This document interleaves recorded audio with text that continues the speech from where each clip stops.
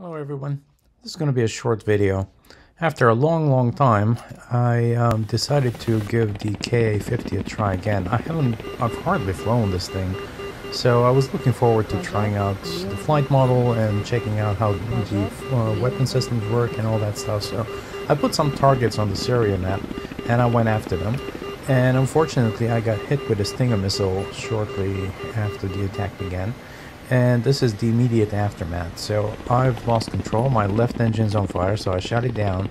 I tried to use what's labeled as a fire extinguisher, but I have no idea how to use it, so um, uh, I don't know if it works. I've never practiced any emergency procedures in this aircraft, so I have no idea what I'm doing here. Um, so, but the airplane seems perfectly controllable. I mean, pitch, roll, yaw, everything is working fine. I still have some engine power, so I can come down smoothly. Uh, I'm trying to put the gear down so that I can land it in those fields over there. Uh, but I guess the hydraulics are out because the landing gear won't come down. Maybe I'm doing something wrong. There's a button labeled hydraulics and uh, hydraulic power for landing gear. It doesn't seem to be doing much. So then I switched to an external view and check this out.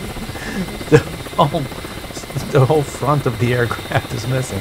So how can I possibly be flying the aircraft? I'm, you know, clearly I'm inside the cockpit, but the cockpit is missing in the external model. So, uh, it's just funny. It's the damage model is just ridiculous. So here I am, a smooth belly landing onto the fields, and um, so I'm down safe, and gonna don't know how to get out. So I'm gonna open the the door, and I'm still inside. So I have no idea what to do. So I decided to punch out. So here we are flying. Look at this astronaut suit. And then all of a sudden the astronaut suit becomes a regular pilot suit. So what's up with that?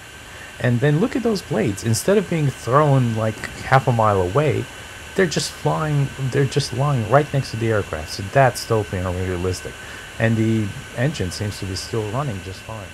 So here I am walking off into the sunset disappointed with the damage model on the KA-50. Just wanted to share this just for fun. Have a good one everyone.